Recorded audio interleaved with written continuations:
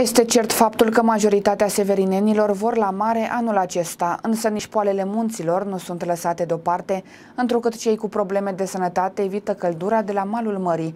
Sezonul cald a fost mult așteptat de severineni, întrucât de cele mai multe ori vara este asociată cu perioada vacanțelor. Dacă suntem în sezonul cald, severinenii preferă marea. Vacanțele măcar de un weekend sunt atât de dorite de severinenii noștri. Nici cele la munte nu sunt lăsate deoparte, însă vacanțele pe litoral sunt alese în detrimentul celor de la coastele munților. Indiferent de vârstă, severinenii tânjesc după șederea pe șezlong, bineînțeles cu o oră coritoare chiar lângă malul mării. La mare. Deci vă place căldura, să Da, înțeleg. Căldura, da. Ușoară la mare, muntea e frig. Mai bine la mare sezonul ăsta.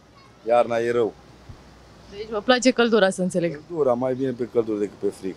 Prefer muntele, am și probleme de sănătate, deci prefer muntele. Să înțeleg că nu vă place căldura și vreți să vă... Fac mai greu cu ea. La munte mai duce în cel mai rău caz. Deci nu vă place căldura, soarele...